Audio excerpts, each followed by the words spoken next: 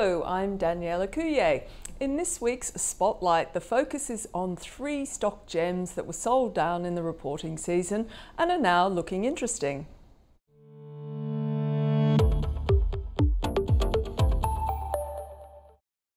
This reporting season was notable for extreme volatility in share prices as analysts and investors reassess the results, expectations, and forecast guidance, or the lack thereof for the next 12 months.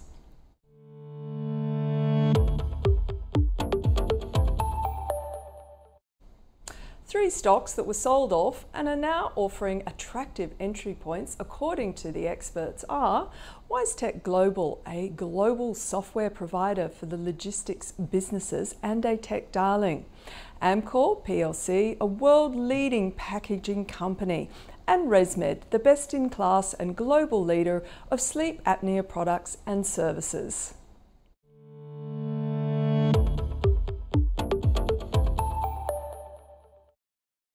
WiseTech Global was caught up in AI hype and the stock rallied from $48 at the beginning of the year to a record high of $88 before the results.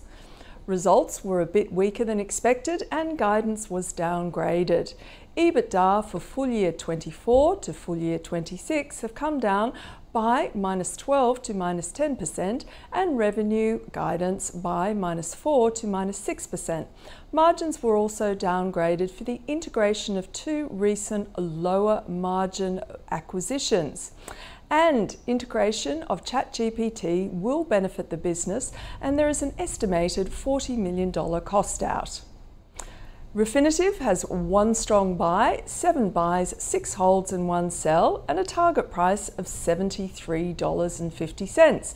Now this compares to FN Arena with an average price target of $77.03 with Ord Minnett and Accumulate and a robust price target of $95 per share.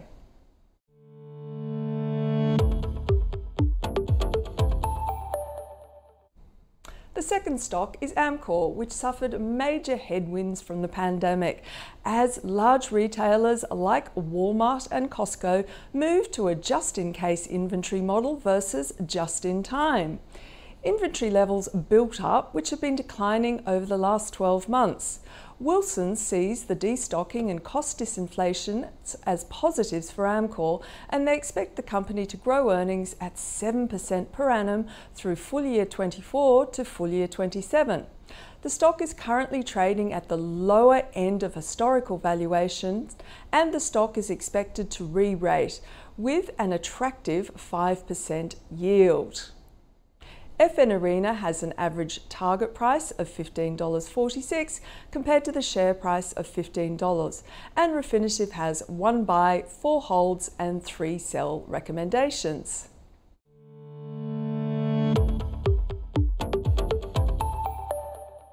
ResMed's fourth quarter results were slightly lower than market expectations, and the stock tumbled 20% on the day. Although revenue growth has been sustained, costs continue to impact on profits.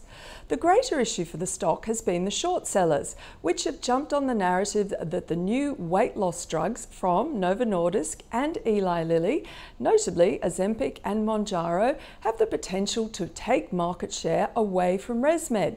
Now, experts have confirmed that obesity is not the main driver of sleep apnea, and accordingly, the sell off appears to be well overdone. Refinitiv has four strong buys and five buys and six holds and no sells. The FN Arena price target is $36.57 versus current, the share price currently around $25. And this is your Investor Spotlight for today. I will see you next week.